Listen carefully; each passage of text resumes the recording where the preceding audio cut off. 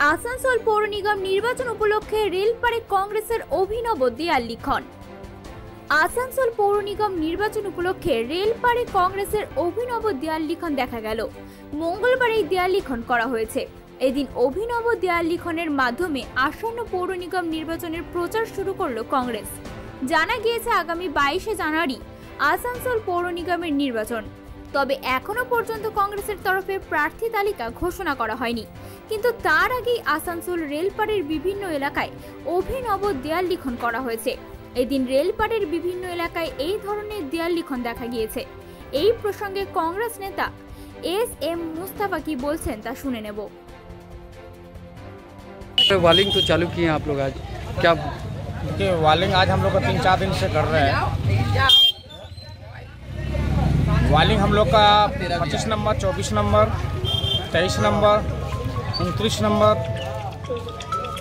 छब्बीस नंबर मोटा मोटी हम लोग का कंप्लीट हो गया है। दो साल वाल बचा हुआ है। दो चार दिन में हम लोग का पूरा वाल का खत्म ख़त्म हो जाएगा वालिंग का काम। और हम लोग का कैंडिडेट का तमाम कैंडिडेट का लिस्टिंग हो चुका है। जिला परिषद कल उम्मीद है कि सबों का नाम का घोषणा कर देगा। इसी को देखते हुए जिन जिन लोगों को आदेश दिया गया है वो तमाम लोग अपने अपने वार्ड में वॉलिंग का काम जोरों शोरों से कर रहे हैं। चूँकि इलेक्शन कमीशन और तृणमूल कांग्रेस का जिस तरीके से साठ गांठ है, और उस साठ घाट को देखते हुए बहुत ही चालाकी से, इतना कम समय में कोई भी एक कैंडिडेट का चुनाव लड़ना बहुत ही समझिए कि दुशारी या तकलीफ़ का सामना करना पड़ेगा।